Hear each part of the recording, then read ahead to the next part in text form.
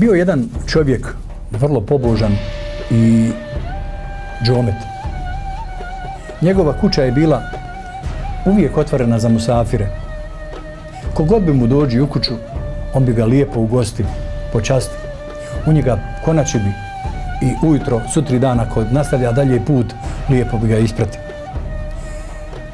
Njegova djeca dok su bila mala, malodobna, oni su naravno sve što bi im otac naredi i izvršaju.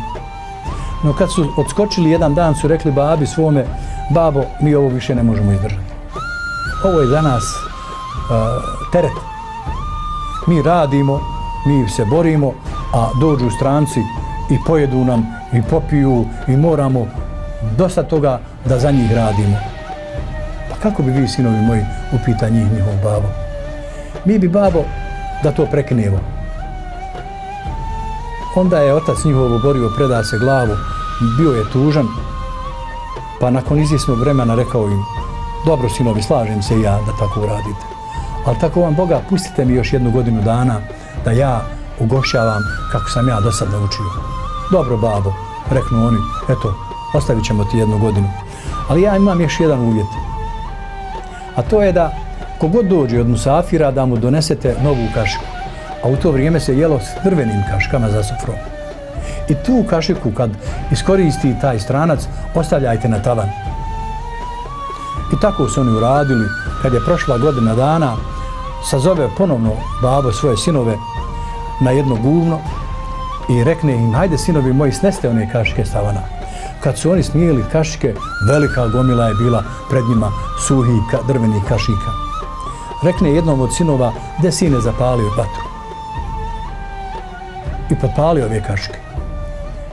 On uzme, kako babo je naredio, uzme vatru, potpali i počnu kašne, kaške gorit, pošto su svakako i suhe bile, i plamen se izvijao do nebesa. Kad je zgorilo sve, rekne jednom, de uzmi jednu motku, pa razgrni malo u žeru. Kad je on razgrnuo, četiri kaške u žeri netaknute. Eto, kaže, rekne otac sinovima svojim.